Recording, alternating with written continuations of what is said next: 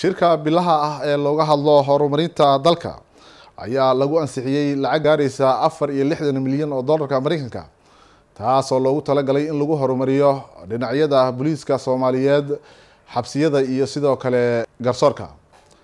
Wasiirka cadaaladda dowladda soomaaliya xasan xuseen xaaji oo la hadlay warbaahinta qaranka ayaa faahfaahin ka bixiyey qodobada ka soo baxay shirkaasi iyo waxaa looga hadlay. Mashruuc ugu horeeyey oo laga hadlay in la ansixiyo wuxuu ahaa mashruuca la xiriira boolista horumarintooda. Sidaad la socotaan boolista waxay gaareen waxaa lagu hoolanaa in nidaam federaalka oo boolista u shaqeyn lahaa in la dhammaystiro. Marka waxaa loo ansixiyey adi lacag gaarayso afartan iyo laba milyan.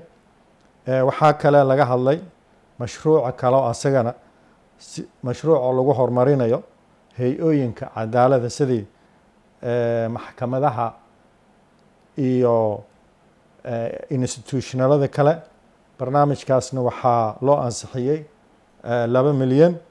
Waxaa kale marka laga dooday haddana barnaamij oo la yiraahdo isku dhafka hay'adaha amniga oo asagana loo ansixiyey sideed milyan lacag dhan waxaa ku xigay barnaamij kale oo ay isagana ku takas ku tacalluqay barnaamij kale oo la xiriiray horumarinta xabsiyada. dalka barnaamijkaasna waxaa loo ansixiyey adi sagaal milyan barnaamijka ugu dambeeyey oo la ansixiyey maanta wuxuu ahaa barnaamijka la dagaalanka xag jirka kaas oo loo ansixiyey one point seven million lacag dhan. Isku dar markii la isku dardaro lacagaha maanta la ansixiyey in lagu caawiyo soomaaliya adii lixdan iyo afar milyan way gaaraysay. Waxyaabaha oo looga tirigalay mashaariicdan waxaa weye in dalka la horumariyo guud ahaan